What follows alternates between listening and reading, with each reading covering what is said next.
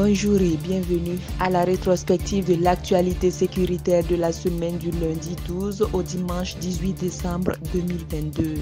Sur l'éventuelle présence du groupe Wagner au Burkina, le ministre nigérien des Affaires étrangères, Hassimi Massaoudou, a demandé au Burkinabé de se ressaisir et éviter de suivre cette voie. Ces propos ont été corroborés par des illustrations par rapport à ce qu'il a qualifié de situation d'impasse au Mali depuis que les autorités de ce pays ont fait appel à Wagner. Son homologue français est allé dans cette même lancée.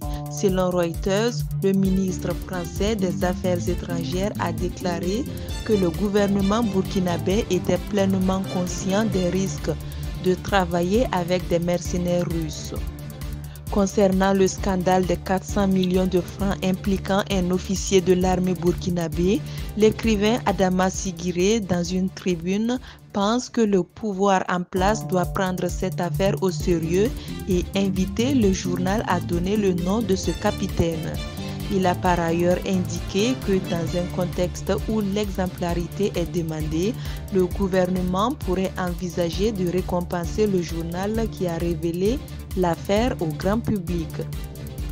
Hors de chez nous au Mali, dans une attaque à Tombouctou, deux casques bleus de l'ONU ont trouvé la mort et quatre autres ont été blessés. L'attaque a eu lieu ce vendredi 16 décembre.